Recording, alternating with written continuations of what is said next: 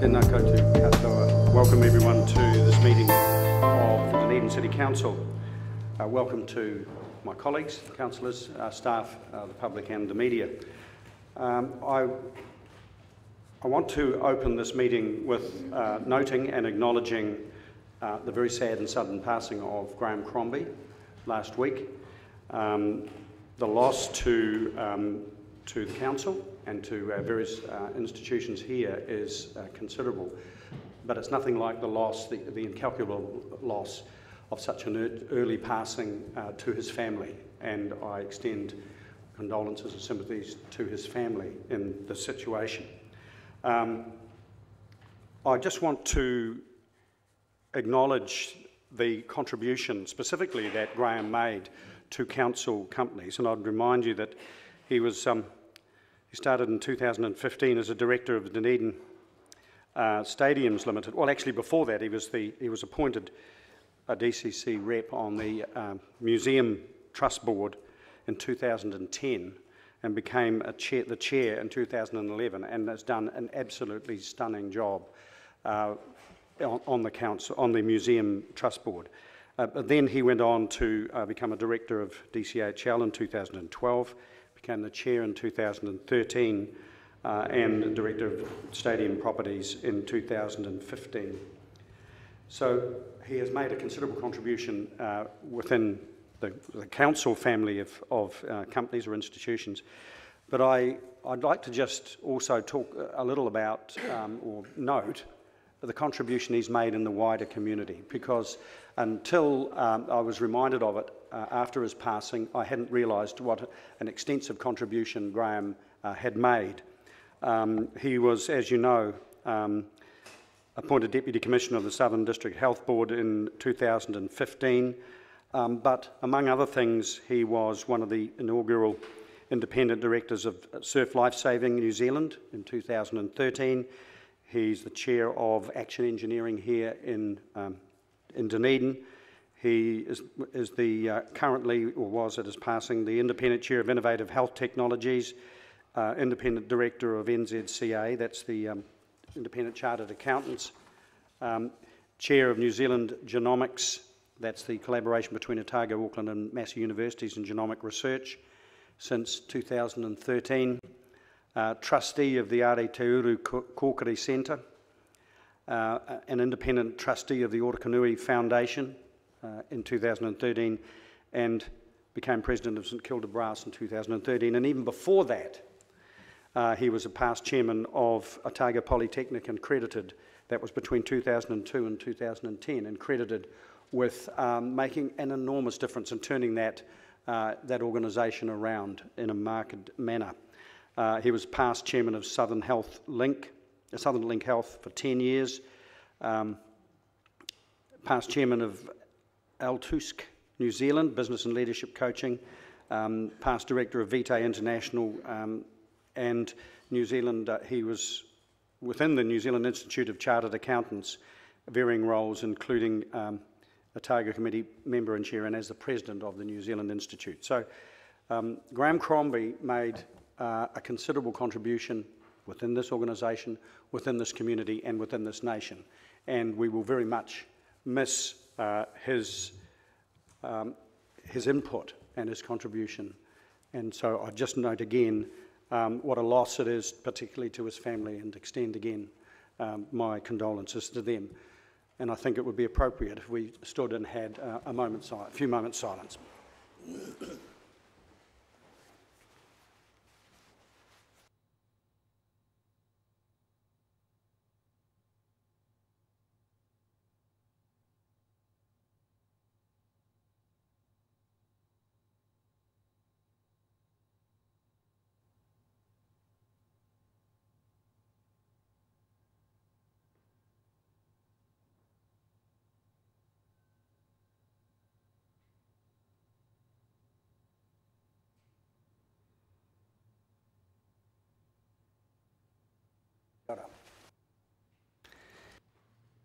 Uh, now, our prayer um, is going to be led by uh, the Reverend Greg Hughson, uh, University Chaplain. Oh. I'd add my sympathies to you all on the loss of Graham Crombie. He worked closely with my colleague Mike Wright at the Polytech over those years, and um, Mike sadly passed away at a similar age. So um, tomorrow you'll gather to remember uh, Graham and to honour him and to support each other in the grief of our whole community, so it's very appropriate to honour him today. Um, I'm here as University Chaplain, but also representing the Dunedin Interfaith Council. I organise the roster for these, cut, these prayers each time, and we're very grateful at our recent Interfaith Harmony dinner for Councillor Christine Garey, who came to represent the Council and spoke about the importance of interfaith relationships in our increasingly diverse community. So thank you very much for that. It's a 150 year celebration for the university all year, very busy time. But please, um, you're all welcome to come to the church service on the 2nd of June, 10 a.m. at Knox Church. You'll all be getting um, invitations. So, a Māori blessing. May calm be spread around you. May the sea glisten like greenstone, and the shimmer of summer dance across your path. Kia hora te marino. Kia whakapapa paunamu te moana. Kia tere te karau, karohi rohi i mua i tau huarahi. We give thanks for the opportunity to meet on behalf of the wider community. We give thanks for the agenda, for the importance of the South Dunedin Community Hub, climate change, George Street traffic through which I've just push biked, for all the work of the um, community boards feeding into the work of council, for all of the um, discussions that um, will happen here today. We ask God's blessing as the council explores all of these policies to fit within an overall strategic framework of well-being for our whole community. And so we give thanks for social well-being, for the economic development strategy, the environment strategy, the arts and culture strategy, the three waters strategy, the spatial plan, the integrated transport strategy, parks and recreation strategy, and we pray that wisdom and discernment um, will operate here this afternoon and always. May calm be spread around you. May the sea glisten like greenstone in the shimmer of summer dance across your path. Amen. Thank you. Got to Greg. Right, councillors, we'll move on to apologies. There are none. Uh, confirmation of the agenda. I'll move that council confirms the agenda with the following alterations. Um, in regard to Standing Order 2.1, option C be adopted in relation to moving and seconding and speaking amendments, and item C4, appointment to the Otago Museum Trust Board, be deferred until the council meeting to be held on 26th of February 2019.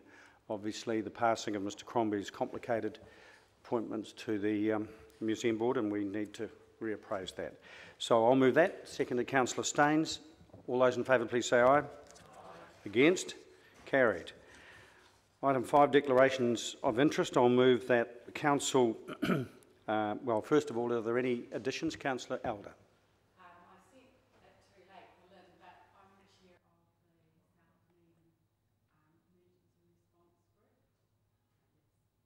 Okay, we'll add that in. So I'll move that we amend the elected members' interest register to take account of Councillor Elder's additional responsibilities as attachment A and confirm the proposed management plan for elected members' interest and that we note the executive leadership team's interest register attached as attachment A. Second to Councillor Staynes. All those in favour please say aye. Against? Carried. Confirmation minutes. Um, I'll move the Council confirms the public part of the minutes of the ordinary Council meeting held on the 29th of January 2019 as a correct record. Second to Councillor Staynes. Any discussion? Uh, I'll, I'll, move it. I'll put it. All those in favour, please say aye. aye. Against? Carried. Um, and I'll move that the Council confirms the public part of the minutes of the Ordinary Council annual plan meeting held on the 29th of January as a correct record, and I understand there was a correction from you, Councillor Vandervis, on a, on a record of the voting, so that's been uh, uh, amended. Second to Councillor Staynes. Any discussion? I'll put it. All those in favour, please say aye. Against? Carried. On to the community boards. Councillor Whiley. Your Worship, um, I'd like to move the minutes of the, uh, the community boards uh, numbered 7 through 12. Second, Councillor Elder. Is there any discussion on any of those? Councillor Hawkins. Yeah, thank you, Your Worship. Um, just on behalf of the uh, West Harbour Community Board, um, just like to pass on uh, the thanks of that board to staff, uh, fairly momentous uh, milestone in the completion of the State Highway 88 Shared Path project and the Memorandum of Understanding being signed between Council uh, and NZTA and uh, the tender for the completion of that work um, going out uh, this month, um, which is uh, truly remarkable. Um, and we look forward to seeing how that evolves um, and, and towards the completion of that fairly significant infrastructure project. Thank you. The discussion, I'll put. All those in favour, please say aye. Against? Carried. On to item 13. Um, Ms Ianu and Ms Graham. um, oh, and, and Tammy. Welcome.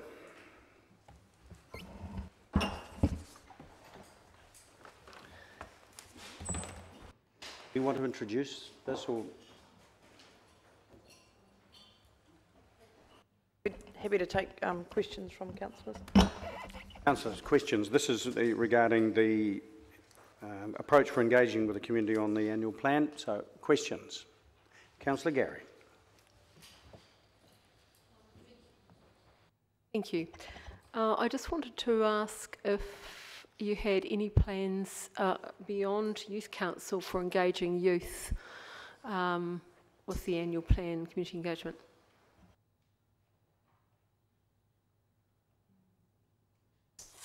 Through the chair, yes, we, we've got plans to engage the youth through a variety of ways. So we will be developing engagement packs to go to our stakeholders um, and community organisations so that they can uh, use those um, within their networks. We are also uh, liaising with the Otago University Students Association and the Polytech Association um, in terms of uh, a North Dunedin activity or event that works for uh, youth or young adults in that area. Can I add to that that um, I interacted with the new OUSA president uh, last night, and James is his name, and he is very passionate about involving students in local uh, affairs. So I think that the efforts of our team will um, align very well with his efforts and OUSA's efforts to encourage engagement with the student body. Councillor Vandervis. Attachment A, uh, Central City upgrade, is a couple of paragraphs there, but no mention of pedestrianisation.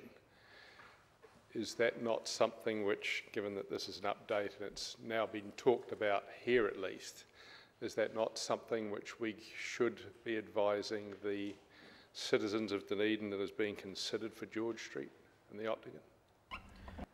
Oh, I think, well, it, it's for council to determine, but as is worded here, um, it says that we are in the process of consulting with our community about what they might want to see in the central city. So that's the stage in the process that we're at. Okay. Um, uh, further up, Three Waters, we're improving our water quality testing and inspecting more of our stormwater pipes.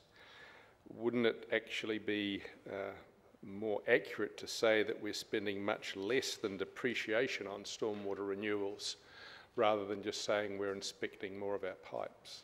Wouldn't that be more a more accurate description of what we're actually doing? I, I think the wording in there is accurately reflecting what we're doing in this draft budget.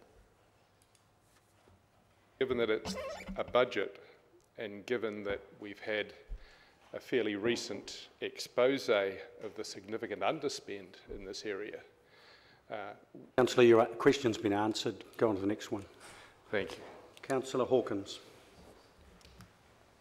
Yeah, thank you, Your Worship. It's just a question around um, how the discussion is being framed in the document. And there's only one specific question that we're asking, and that's around the provision or the proposed provision for a free central city bus loop. And I've got no question, no concerns with us asking that question, but it seems odd that there's only one question um, being asked given the, the other, pro- other proposals that were raised during the January meeting. Is that because that was the only resolution that specifically asked for it? Yes, that, that's correct. That We are asking a general question. What do you think of the, the plan? It's there, I think, on page 37. What do you think of our plans for next year? But that, the resolution around the, the question around the bus loop was the only specific thing that council at the time asked us to include in the consultation. Historically, would it be fair to say that we get more feedback on issues that we specifically ask questions for feedback on? Oh, That would be hard to say. I think sometimes there are issues in the community that we haven't asked questions on that have ended up being the main um, source of discussion in annual plan. And would staff have any issue, I mean, is it beyond our, our capacity to add, add things at this point, or would this be the forum that we would need to make those suggestions? This is the purpose of bringing the draft document to council for them to consider whether it adequately reflects what they um, had decided we were going to consult with our community on. So now is the time to, to um, suggest any changes or additions. Councillor Lord. My question was more or less the same as Aaron's. It was regarding the, the forming and posing of questions that's been answered. Councillor O'Malley.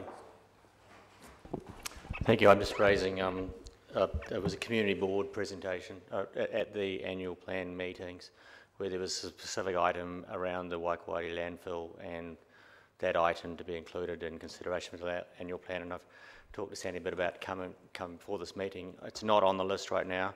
Um, and so the question really is how to get it on the list given that it was at that meeting. And um, so I'll send you an email, I guess, to remind you exactly what was requested.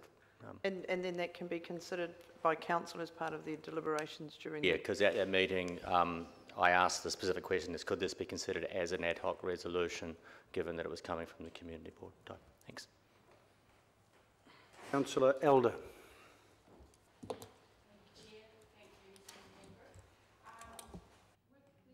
Um, plan, uh, the proposed um, resolutions and being put forward. One of the things um, I, we put a re- resolution forward about um, the tracks audit and giving some budget to the results of that track audit towards tracks. And I was wondering whether that should be in there as part of the consultation. So on page, on the top of page 37, you'll see, um, bottom of page 36, top of page 37, we've outlined the other things that council discussed at their meeting and have highlighted the reports that staff will be preparing for council to consider during deliberations and the tracks are there. Oh, cool. Thank you. Councillor Wilson. Thank you, and just for clarification, um, and I have to say that I love the language in here. I think it's really um, very accessible for any resident of the city. But this is a, um, looking at things we've varied from the long-term plan. Is that correct? And so, if I take um, your question or your box, which talks about library or swimming pool on page 35, that doesn't actually get a question because that is all going to be within the budget of the long-term plan, I presume?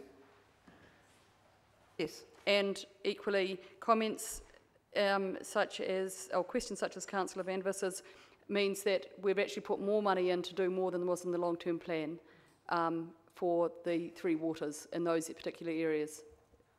That's like the 300, 3.5 million in stormwater and things. So it's a variation on that long-term plan. Thank you. Councillor Garey. Thank you, Your Worship. Um, I just had a, a comment to make and then a question. Really like, as uh, Councillor Wilson said, the tone of the document, and it sounds very much like the style and tone follows along from the, the long-term plan. Um, is it um, the plan to have graphics that are consistent with what was in the long-term plan? Yes, the, the same style of graphics will be used in this. Fabulous. And secondly, I was just wanting to know, uh, because I believe the community will ask this question, in the work underway, a couple of big things that are underway, Peninsula Connection, is there perhaps um, an opportunity to put another sentence in there that just gives a little bit of an indication around the way forward or what happens next? Because that project is, is you know, not yet to be finished, and uh, and the next part is yet to be decided as to where that will be, but that will be the question in the community's mind.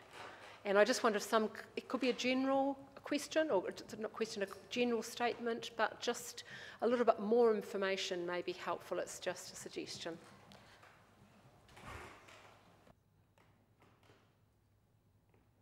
We will take that on board and see if we can change it. The, the nuance, the challenge is this is reflecting what's in the annual plan as opposed to what's in the out year in the long-term plan. Councillor Wilson. Sorry, apropos of the notice of motion um, that is after this item, should we be asking, um, adding, if uh, subject to that being passed, um, a line item under the where the tracks uh, on page 36, 37 about potential late Way Bridge? We had suspected that um, should that notice of motion be successful, that we would add a bullet point on that being an upcoming report. But Thank we you. didn't want to predetermine the outcome. Thank you. Councillor Laufiso. Thank you, Your Worship.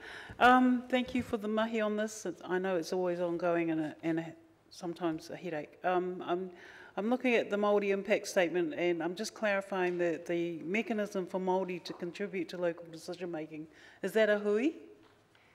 Uh, what's the form of that mechanism, please?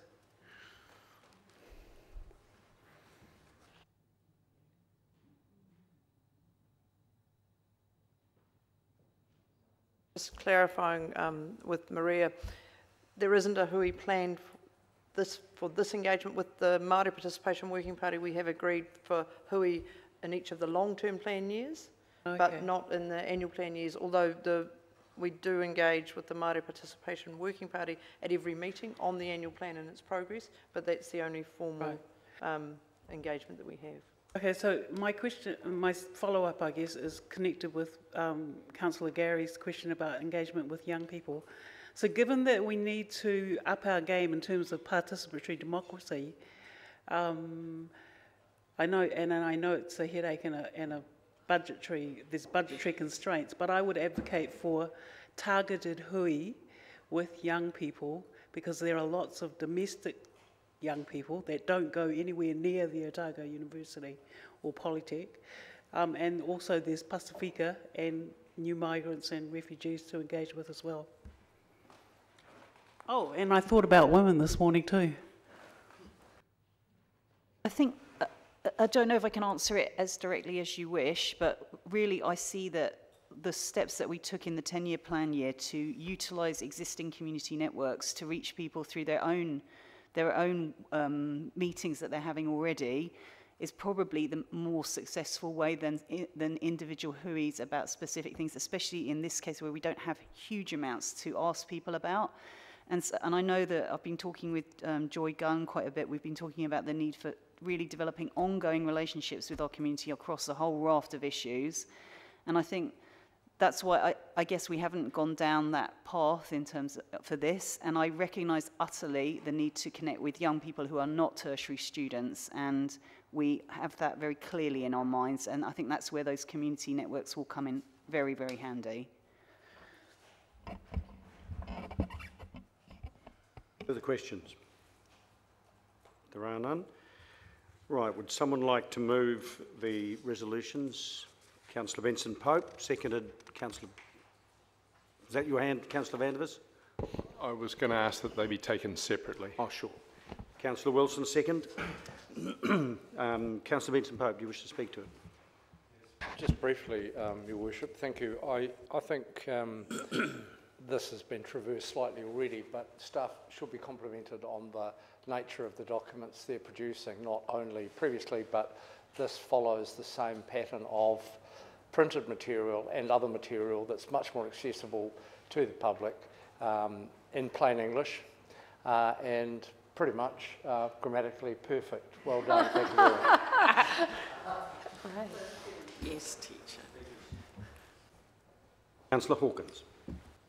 Thank you, Worship. I'm not wishing to speak to the substantive motion, although I do support it, but I am proposing an amendment to the consultation document that include a specific question uh, that asks for people's support or otherwise for the principle of using um, council rates and or parking revenue to lower the cost of bus fares. It's alluded to in the higher level discussion of things that we are considering, um, but I think uh, it's worthy in conjunction with the conversation around the Central City bus loop of um, being highlighted.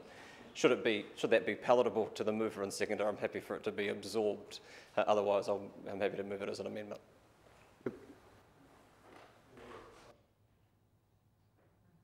Do you have some wording, Councillor Hawkins? Oh, yeah, sorry, I've said.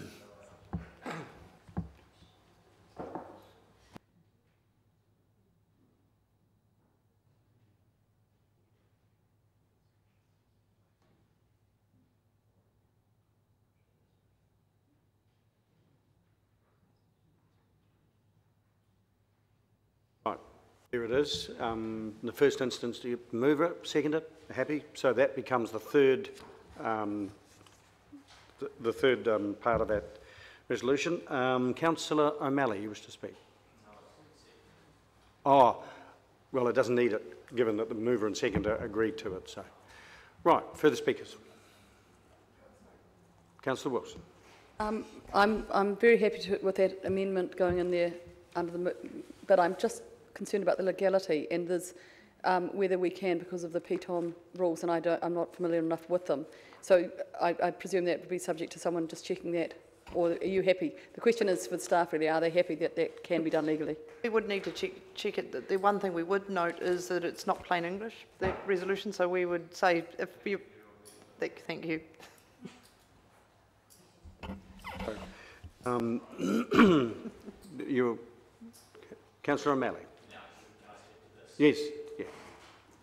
Um, I'm happy to support it really because it does bring the whole thing up to the centre of debate and it's, it's a, we've been needing to bring this up for a long time and whether we legally can or can't at this point it's probably not as important as actually bringing the whole debate forward and, and, and getting around this whole question of who really is involved in controlling public transport in the city and how can we can respond to it. Thanks.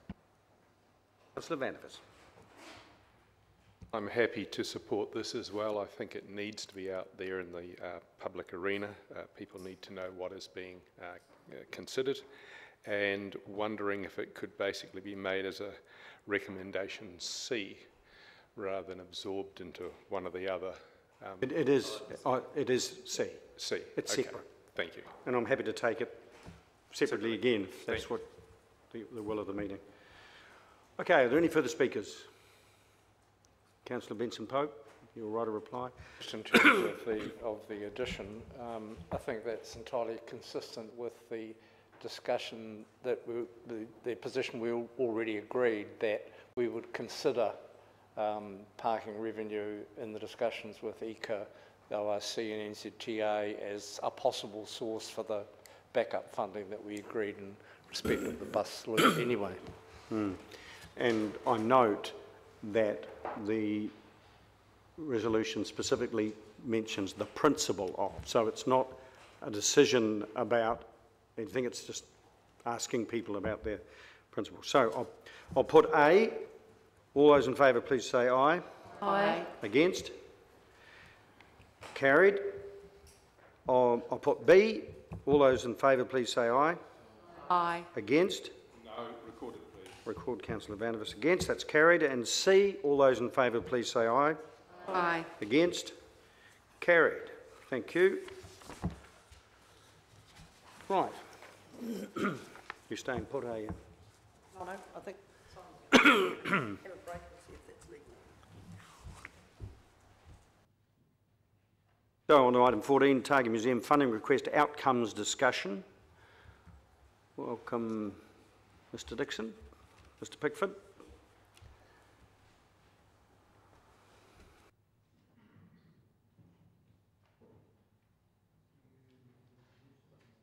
I'm happy to take questions. Questions, councillors? Councillor Hawkins. Yeah, thank you. It's just a, a timing question, really, and seeking assurances from staff that, uh, from a process point of view, following whatever outcomes come out of the May meeting that are informed by this paper that's forthcoming in time for the May meeting, that the formulation and approval of any letter of objection, should that be council's desired outcome, be able to be turned around by the 31st of May? Uh, yes, we, we're confident that uh, we can work within that timetable and we will ensure that um, colleagues at the Otago Museum are fully aware of the timetable within which we're operating. Any further questions? There are none. Would someone like to put the resolution? Councillor Lord, second. Councillor Elder. Councillor Lord, do you wish to speak to it? Any further speakers? I'll put it. All those in favour, please say aye. Aye. Against? Carried. Thank you. Right. um, item 15, the Mosgiel Aquatic Facility Project Update.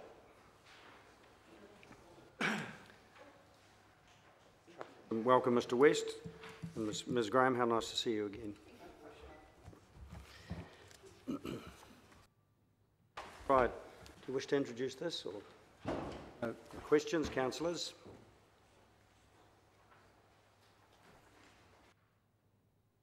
No questions? Someone like to move? Councillor Staynes, move. Councillor Hall, second. Councillor Staynes, do you wish to speak to it in first instance? Councillor Vandervis. This is a wonderful um, outcome in terms of Mosgiel and in terms of Dunedin ratepayers generally, I believe. The noting finally of the fundraising target of $3.2 million having been met uh, is going to make sure that Mosgiel gets the best pool that it was ever going to get and that they have some ownership of the pool as well because of the significant number of funds that they've raised. I particularly want to pay uh, uh, my respects and to honour Irene Mosley for her perseverance in making this happen. Uh, notwithstanding the fact that a lot of other people were certainly important in making it happen as well, and the DCC committee, um, uh, headed by Ms. Uh, Councillor O'Malley. Um, I think it's Irene um, Mosley. Correction, it was headed by Councillor Staynes. Oh, pardon me. Thank you for the correction. Um, I think it really is down to Irene Mosley to take personal credit for having persevered with this and got, I think, a most satisfactory result all round. Thank you. Further speakers? Councillor Garey.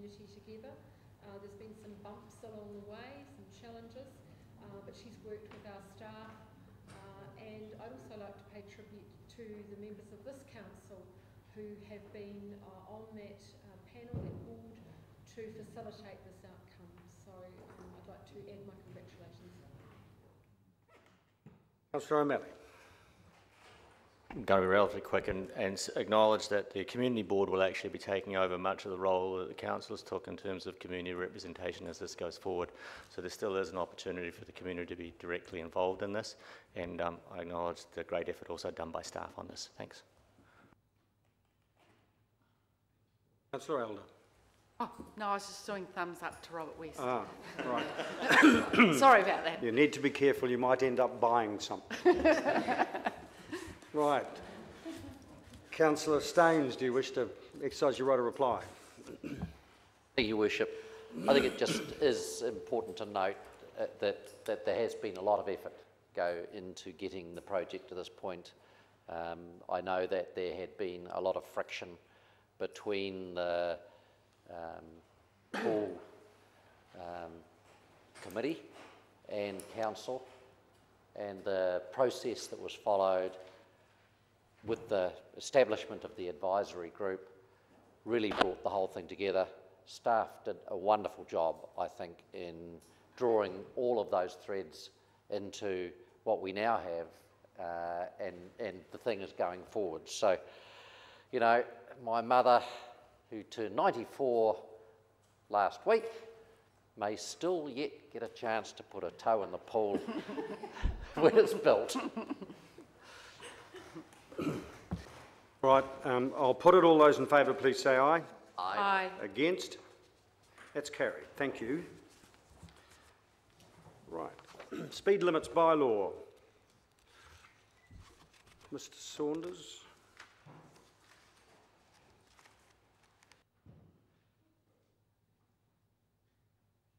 Welcome.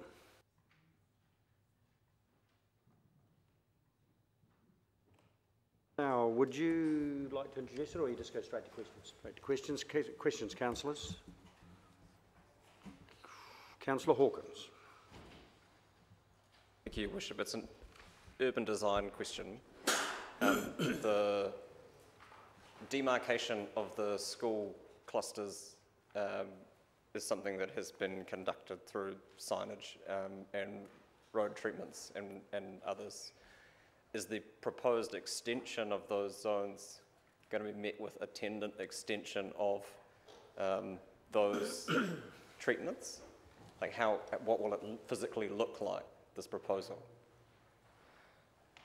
So the, um, I, I guess the taking the two separately for an individual school, there will need to be there'll be variable speed signs up. So there there will need to be some sort of demarcation of where the zone starts. The Central City School cluster, where there was a specific uh, submission on, given the nature of a number of the heritage buildings up there, how we use the signs and the demarcation of those zones. Uh, and there's been some conversations between our staff and urban design and heritage just to ensure we get that balance right. The need to make sure drivers are aware as they enter a zone that they are entering it, um, but also not a proliferation of highlighted yellow signs and, and other things. So we are aware of it, and it was a um, it was a submission that we um, we listened carefully to, and, and we'll give some consideration to as we're finalising that that package of signs. But ultimately, the answer to your question is yes, we need signs to delineate those areas. I guess one of the benefits of the variable message signs is they're only um, on and flashing for the period of time where we need the reduced speed in place, um, which is better than having a, a permanent sign in place. And, and just secondly, sorry, um, I'm interested in the provision for outside of the set hours at the start or the end of the day, 10 minutes at any other time when children cross the road or enter or leave vehicles at the roadside, which taken literally could mean all day, every day. Do you have any Uh, so, sorry, that, that was um, that was included in there to allow for those days where they might have a lunchtime finish. So it would be a, a mass entrance or exit. So if the school hours shifted on a day, um, so we didn't get caught out by having having the set times only at the start and finish, but then we have a half day or something. It just gives the ability because the signs will be part of the network and we'll have manual control over them. We we can activate the signs at lunchtime if if a school was finishing at lunch on a particular day. Councillor Lord. Yeah, um, look, Richard, my, I, I'm very happy with these recommendations, and when the time comes, I'm willing to move them. But my question's more in relation to the. Were you here when Mike Lee spoke to the public forum? So what I was wanting to know, and and my observation would be that we have more cars on the road now. But do you have firm data? I certainly know when I come into town, like Cocker Valley School, it just seems more kids driving to school. I see it around the Taieri, more kids driving, more off-street parking required because of those sorts of things. And would it be fair to say, or do we have any data that would reinforce that, or is that just my personal belief? And I'm thinking the last five to ten years, do we have more cars generally between parents taking kids to school and all those things just in general? Um, look, I, I don't have, we, yes, we have the data. Um, I don't have an intimate knowledge to answer that question now, other than specific areas of the city that, that I have looked into on, on request where we know there's been an increase. Um, the, a number, the, the feedback we get from a lot of people is there is an increase. Um, perhaps one thing we could do is in our next quarterly report to the infrastructure committee, we could include a section on sort of historic traffic counts at some key areas of the city because we do have that data. So we'll, I'll have a chat to the team about it, including that in our next quarterly report. Further questions? Okay, there are no more. Would someone like to move the uh, resolution? Oh, Councillor Lord, you said you were willing to, and Councillor Hall, second. Um, do you wish to speak to it? Are you happy with it? Any further speakers? There are none. I'll put it. All those in favour, please say aye. Aye. Against? Carried. Now, item 17, Community Board representation. Ms Bodeker and Ms, Ms Graham will be here to answer any questions. I note that there's um, a resolution being put up by Councillor Garey, which perhaps you could put on the wall. Thank you. Do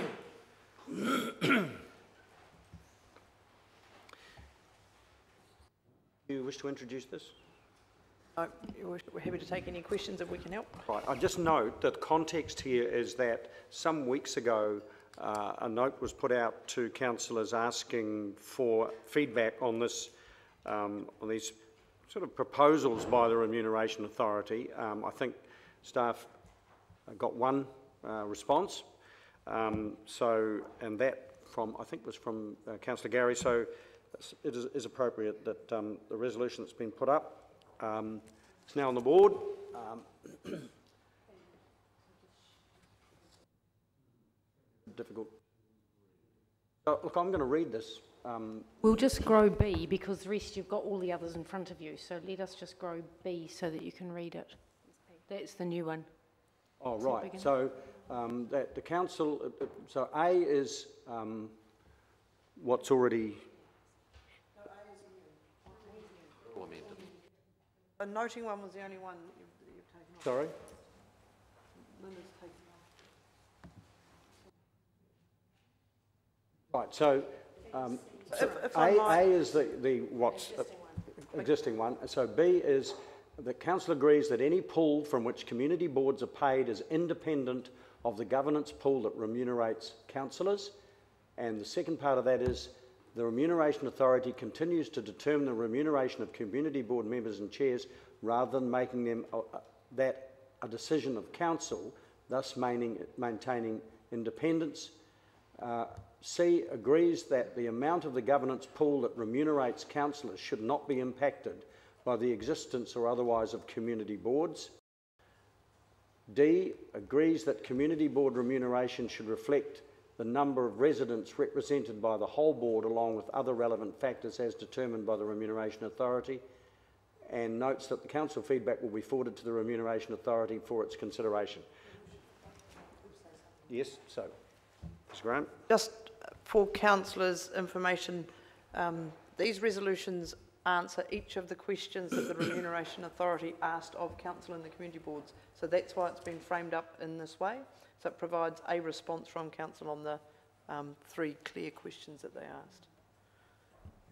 So we'll just park that, um, but so I'll ask any questions either of staff for clarification or then we'll move on to questions of the mover. So, Councillor Garey.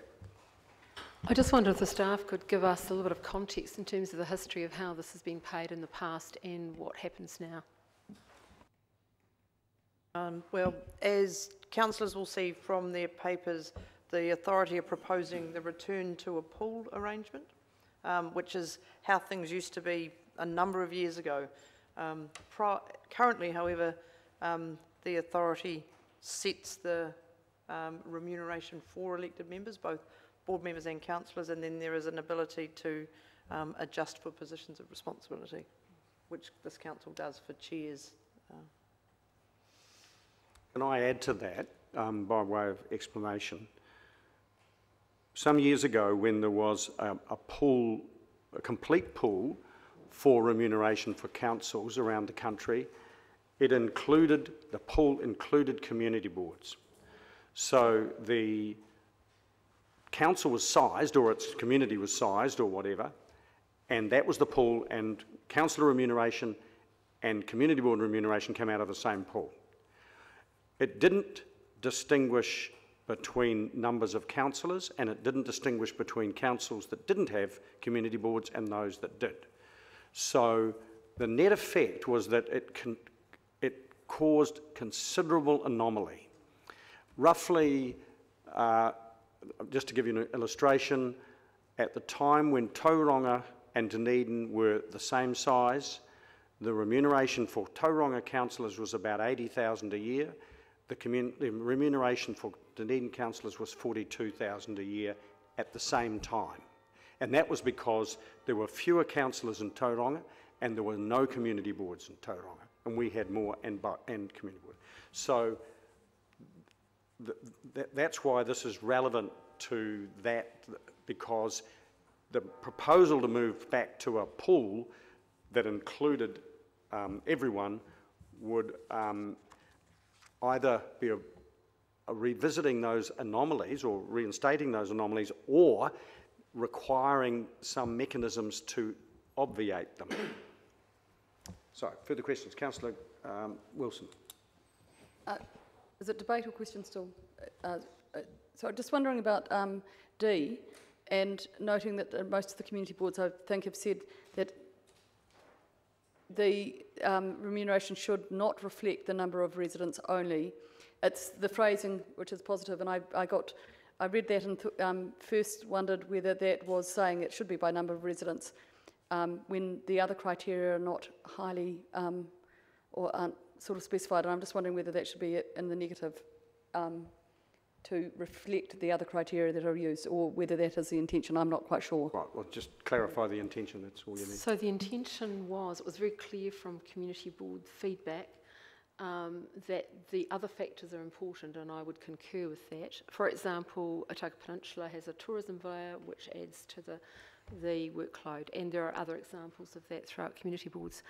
Um, the Remuneration Authority is well aware of those. That's been inputted at a national level um, and through the zones to um, to local government uh, and the Remuneration Authority personally. Um, they've come to visit a number of times. Uh, and so I felt that it was important to have it in a general, you know, not to specify the criteria because they are quite wide.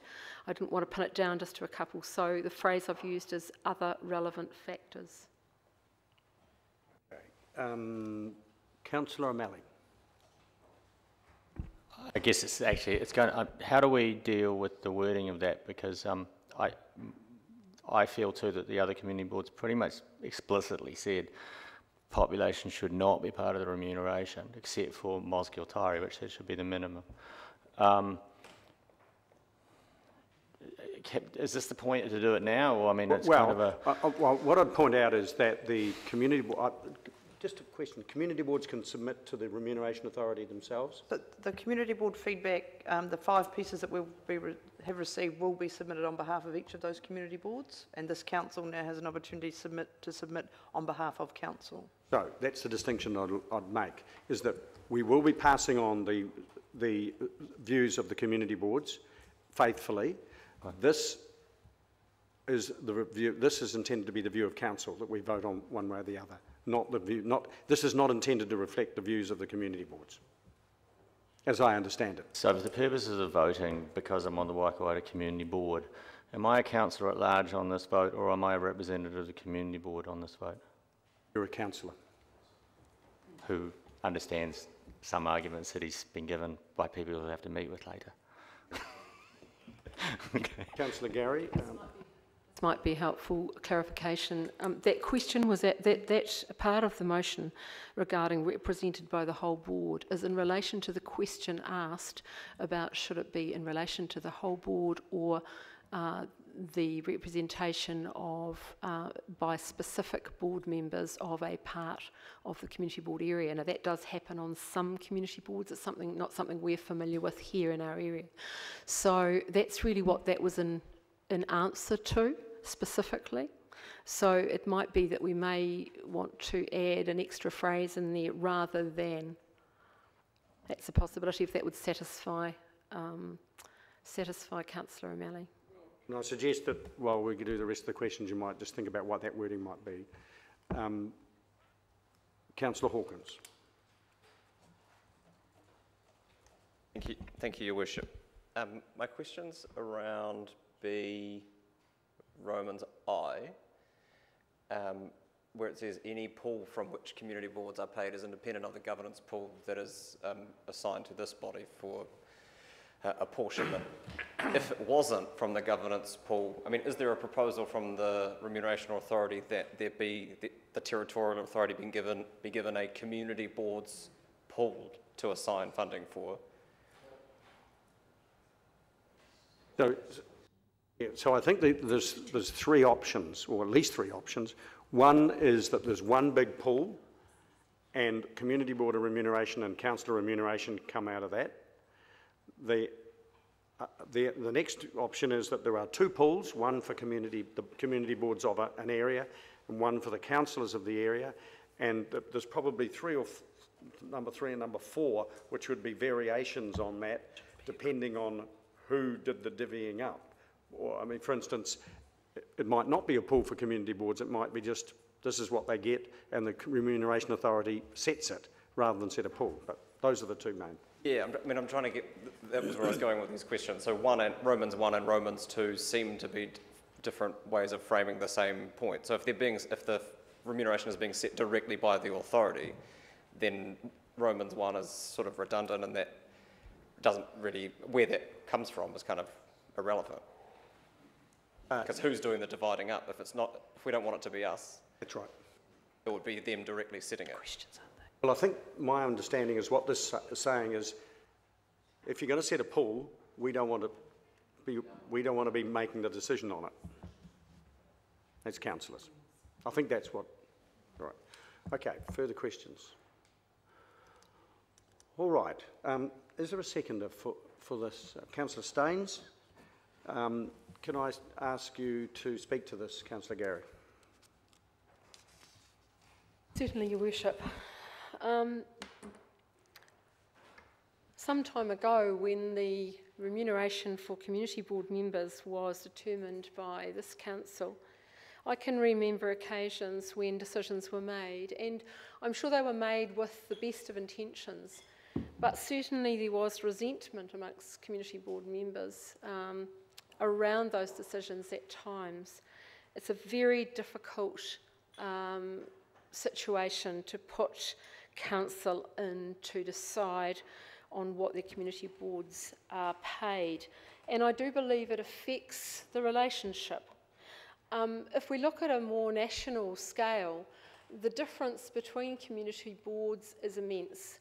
If you take the community boards in Christchurch, for example, they're paid a lot more money and they have uh, a great deal more delegated responsibilities. Now, I'm not trying to say or advocate for more delegated responsibilities because I believe community boards can be very effective without those. But there is immense difference. In some community boards, particular individual community board members represent specific areas, and that's what D was about.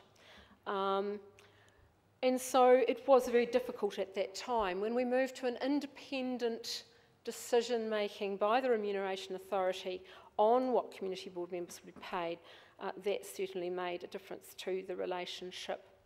Uh, and I believe the relationship between community boards and this council is a very good one. And it was commented on after the presentations to the annual plan, the draft annual plan budget, around uh, the quality of the community board presentations, the quality of the advocacy, uh, and just that the bar had been raised.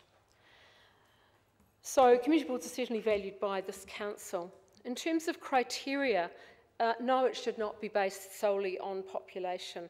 If you take a, a community board like Stewart Island, for example, it's a very small population, but goodness, look at the number of visitors they have and the issues they have to deal with around that special place. So there are a number of other factors. And the Remuneration Authority is well aware of this. That has been inputted, uh, fed back to them on numerous occasions since the start of this process several years ago. Um, one of the, the comments made in this report is around uh, recruit and retain uh, competent persons. And it's always been a view of mine that we need to support community boards with training, professional training. That was mentioned in their presentations, and I know the Mayor uh, is very supportive of that. Uh, in terms of raising the bar, that's really important. But if we're going to recruit and retain competent people, we have to pay them fairly. If we don't, we're not going to get a variety of people standing for community boards. And with all due respect to my colleagues around the table, we do not want a situation where we have uh, white males over 70 uh, being the only ones who stand for community boards. For far too long, and don't worry, I've got the white hair too, um, for far too long, uh, that was the face of community boards. And I'm pleased to say that it is very different now. And if you look at the national body, Community Boards Executive Committee, which used to be a little bit like that, I'm very pleased to say uh, that that spread uh, of ages, ethnicities, uh, and gender has um, improved considerably and it's much more varied. So if you pay fairly, uh, then you're going to get a variety of people standing and the community is going to be better uh, represented. In terms of valuing, I just want to make a, a, a passing comment that cheap shots on either side, as reported recently in the ODT, are not helpful no matter uh, what their meaning is. Um, and I would just like to focus as I finish on the worth of community boards to this council. We've just been talking about the Mosgiel Aquatic Facility. Look at the um, input of local people and community board to that process. The Peninsula Connection with this council is very proud of, and rightly so. Uh, let me tell you, in the early part of this journey uh, on the Peninsula Connection, um, and there's really probably no one around this table uh, that was here then, but in the very early days of that journey, this council was opposed to or put obstacles in the way of that project. Now we're way beyond that now and we have unanimous support around this table for that project. But that was led by that community and that community board over many, many years. The recent Peninsula bus issue, the community board uh, had a hand in that, along with a group of parents and community members. And on freedom camping solutions, community boards have been hugely helpful in finding solutions. Obviously, along with staff and councillors, it's been a collaborative effort. So I believe that community boards are of huge value to this city to this council for reflecting the community back to council. It's a conduit, both back and forward, and we have a better democracy for it. Uh, and so uh, that is why I have put up this motion.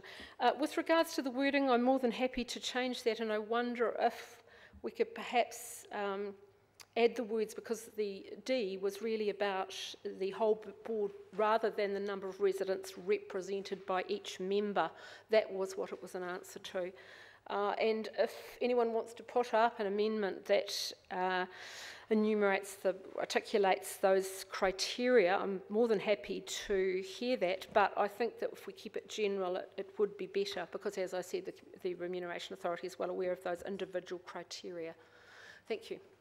So just to clarify, Lynn, um, you're adding the words, uh, uh, assuming the seconder agrees, adding the words after uh, number of residents and D, number of residents represented by the whole board rather than by each individual member. Is that right? Yeah, and both of you are happy with that? Thank you. Okay, Councillor O'Malley.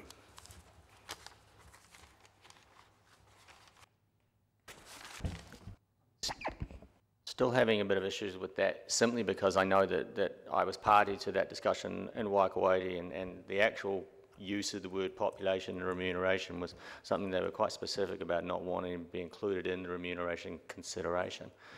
So um, I'm thinking that community board remuneration should reflect many relevant factors in addition to population. Just as simple as that. So the population goes towards the back of the statement. Um, and um, that way, and that many relevant factors goes to the front. now, can I ask Is the that- mover and seconder how they feel about that? Because I can, s- I get your point. Absolutely fine. I think it covers the basis, but I still like to add that rather than the number of residents represented by each individual member, because that is answering the question asked. But I would be, uh, I would be more than happy to have the, uh, the order reversed. Can you just better read that reflects again, councillor O'Malley? Um, that remuneration should reflect many other factors in addition to the number of residents represented. Many relevant factors, we got that Yep. the first time, in addition to in population. addition to the, and then it goes in front of the population statement. So if the mover and seconder are happy with that, that can be changed. In addition to, That's good. All right.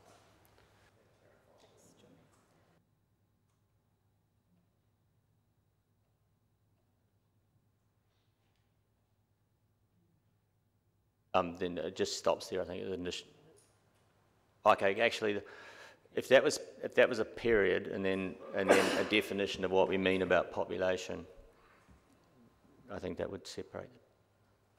So the distinction between The whole board re- rather than each numbers represented by the whole board and rather than any each other individual member it remains as, as a, Yeah, a- a- a qualification on that, or, or a dis- um, e- explanation. Would be considered when determining population effects. Yeah. Okay. All right, councillor Hawkins, I think you, did you have your hand up or were you? You're going to invite me. Um, thank you. Not quite what I meant, but anyway. Uh, I think the, the relevant thing for me in this whole uh, report before us is the comments in background, paragraph four. The Remuneration Authority Act 1977 and the Local Government Act set out matters that the authority must take into account when setting remuneration, that the authority must take account of when setting remuneration. And what we've seen in recent years um, is a very deliberate move by the Remuneration Authority away from that duty of setting remuneration and leaving it at the, at the whim of uh, political bodies uh, to set their own wages, and worse now, uh, the proposal to set the remuneration levels for, um, for community boards that sit um, alongside them in the governance structure. And I think as we have done previously when we've discussed the fraud issue of our own remuneration, um, we need to send a pretty strong message um, to the Remuneration Authority that this is their job uh, and they should be doing their job and rather than handing it off um, to elected bodies because I think it, make, it puts everybody in a terrible situation for our staff, for ourselves and for our community board representatives.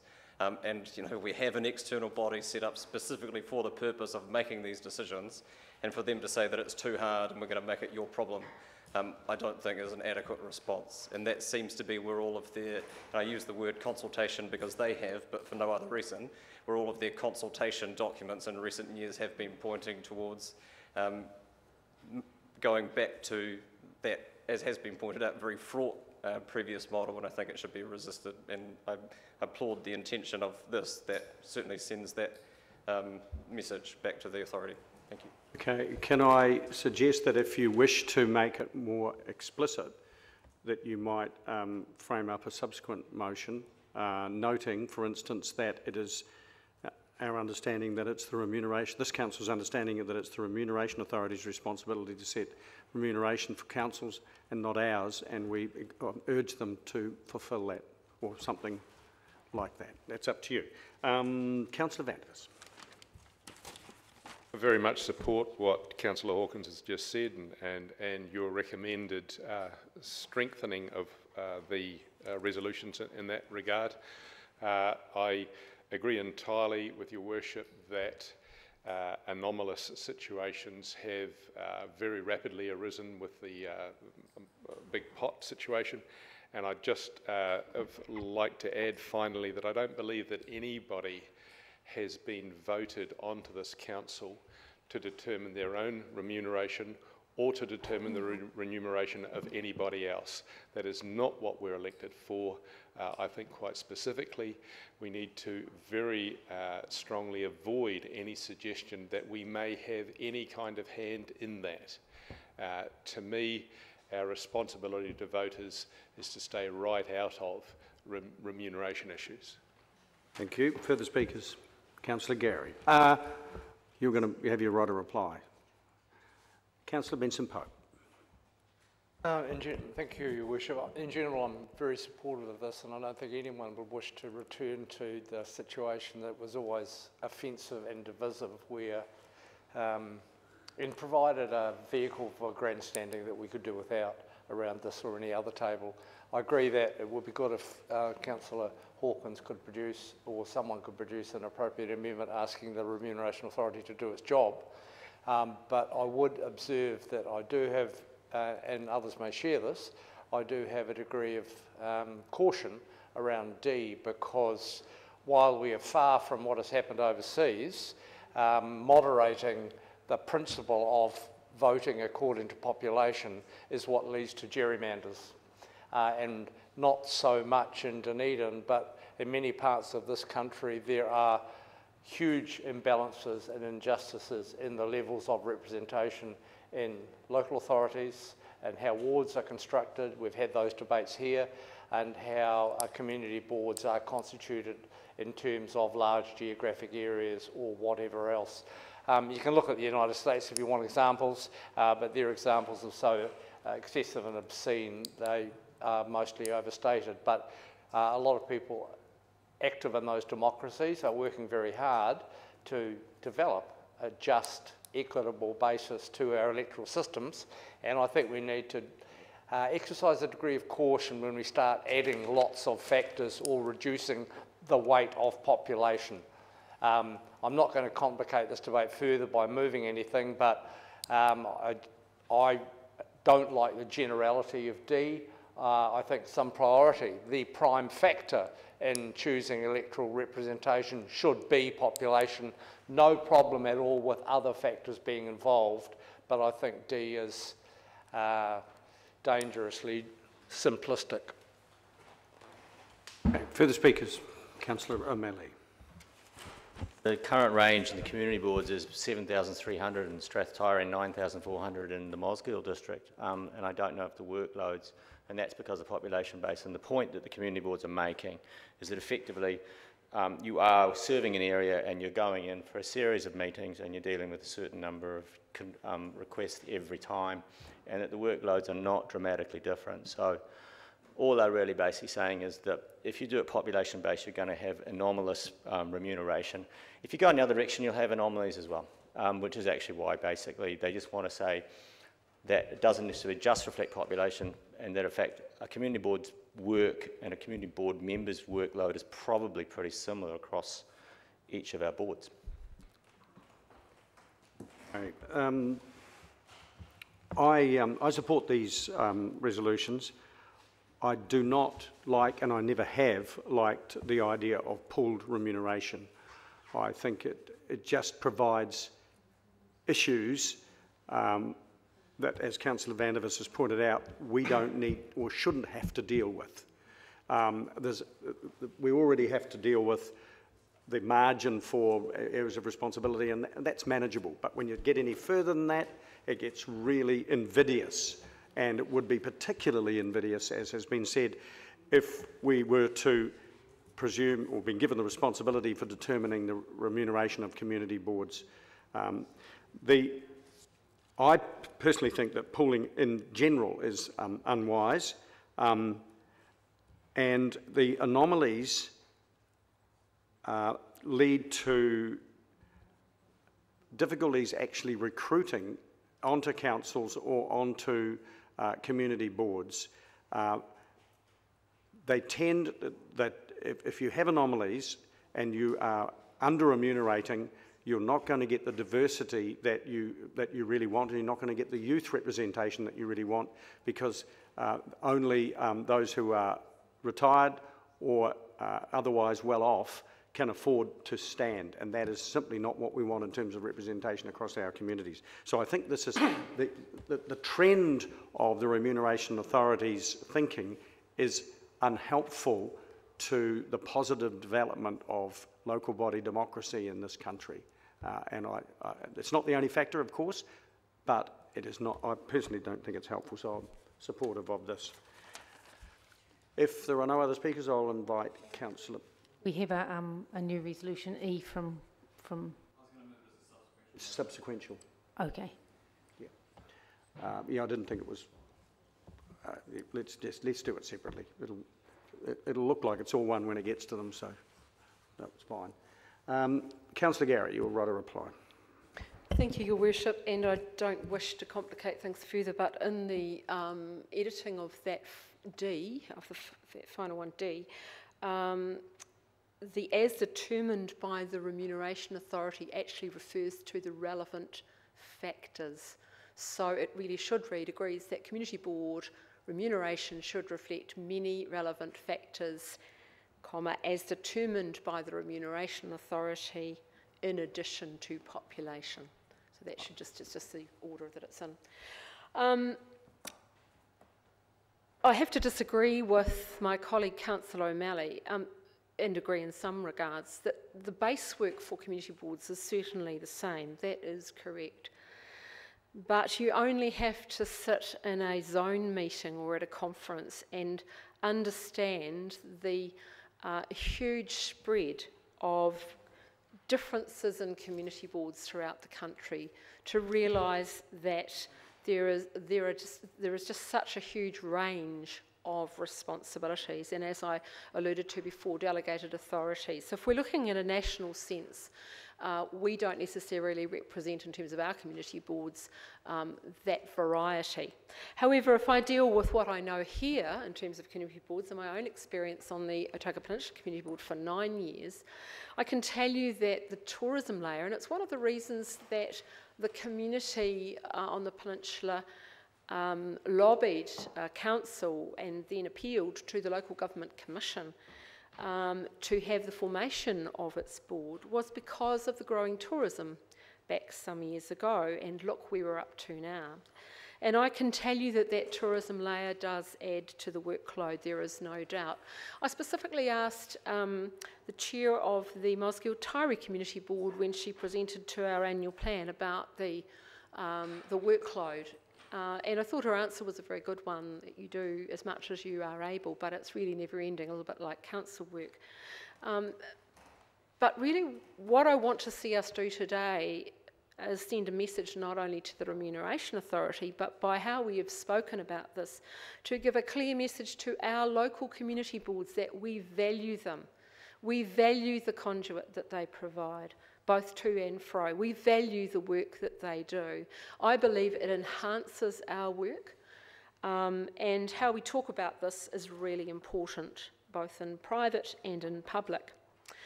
Uh, and so I believe the Remuneration Authority has a very good idea from the feedback they've had over a couple of years, very thorough feedback about those other factors. So I want to just comment that um, I, I, heard that message very clearly from the community boards about those other factors, and thank you, Councillor O'Malley, for raising that and, and, ensuring that that is reflected in the motion, because I do think that is important. But the Remuneration Authority is well aware of it, and they're going to have to find a mechanism to deal with that, but it is important that we give that message. Uh, I thank colleagues for the support of this motion. I think it's a really important one to our ongoing relationship with community boards, um, and I think the clearer message and stronger message that we can give the Remuneration Authority, the better. Thank you. I'm now going to put it. All those in favour, please say aye. Aye. Against? Carried. Can I invite you, Councillor Hawkins?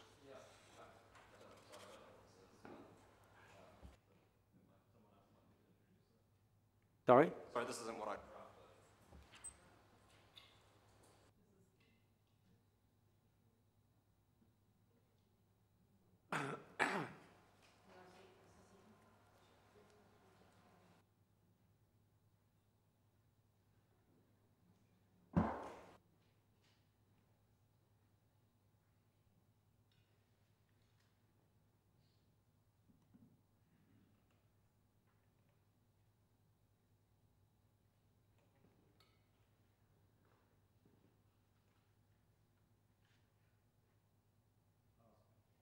That, is that the one?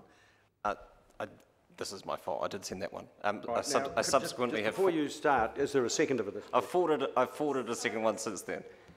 Sorry. It's been a busy time. Have you been iterating? Councillor Wilson has been giving feedback, yes. Ah.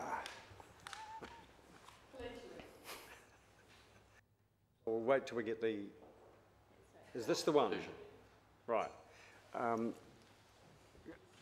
I'll give you, I'll give everyone time to, or is this a second to straight off? Right, councillor Garey. Okay, councillor Hawkins, if you'd like to speak to it. You happy with it? No, so- so- then